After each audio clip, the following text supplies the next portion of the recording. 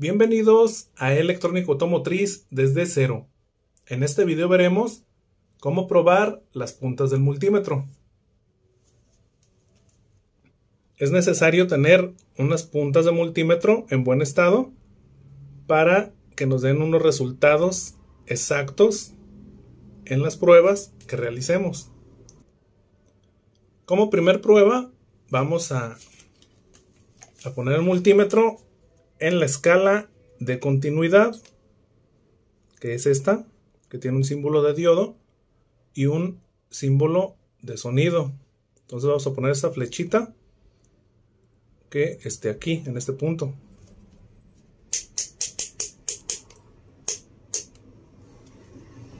Ahí está.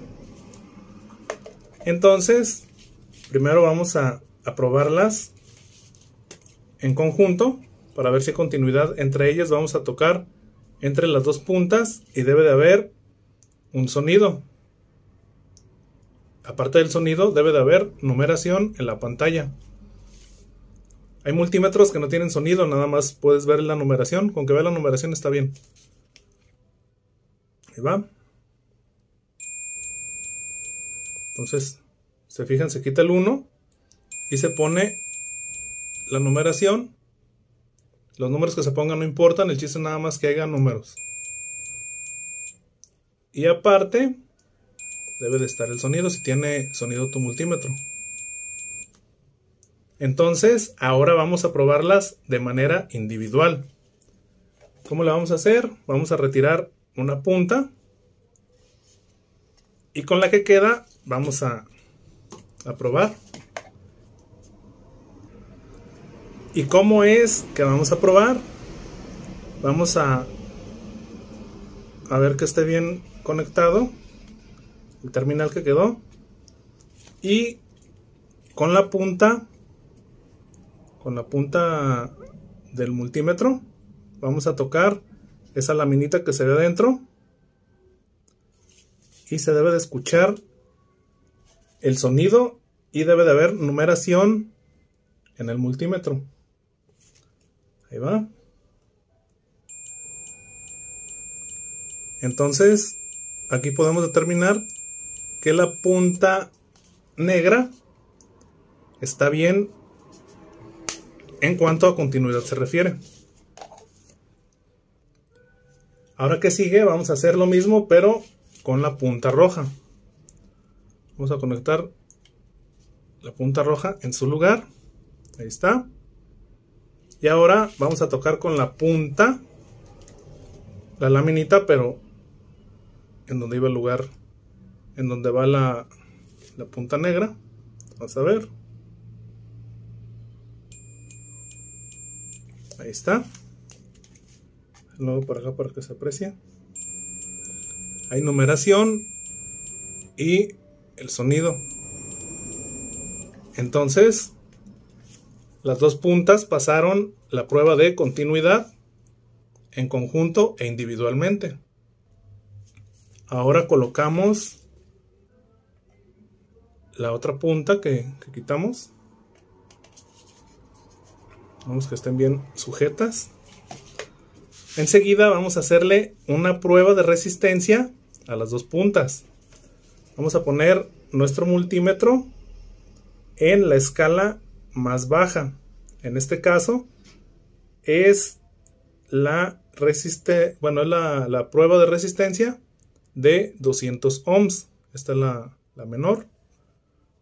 Ponemos el selector, que es la flechita, apuntando en el puntito que dice 200. ¿Qué vamos a probar aquí? Aquí vamos a, a probar la resistencia ¿Pero qué resistencia? La resistencia del cable. ¿Cuál cable? La del cable, la de los dos cables del multímetro. Un cable que está en buen estado tiene una medida menor a un ohm. Si el cable ya tiene problemas de resistencia, de alta resistencia, va a medir más de un ohm.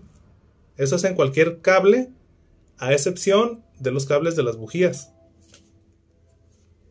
Entonces, vamos a probar. Al juntarnos debe de dar menos de un ohm.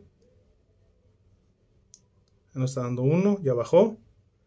Nos está dando 0.5 ohms, o sea, medio ohm. Está bien. Ahora vamos a probar un multímetro dañado para que vean la diferencia de resistencias. Entonces quito este y vamos a quedarnos con, el multímetro dañado.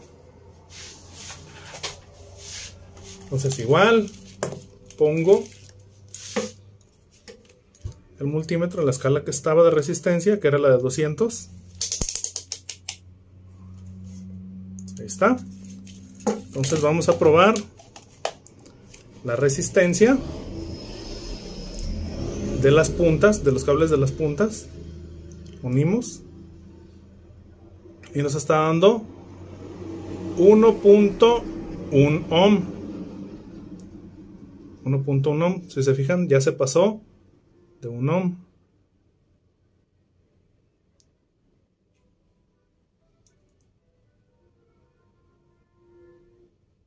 Entonces, estas puntas están mal.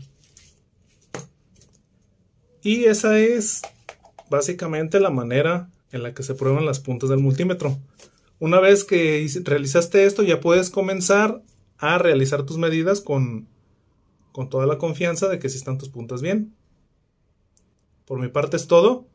Suscríbanse a Electrónica Automotriz desde cero en YouTube, Facebook e Instagram.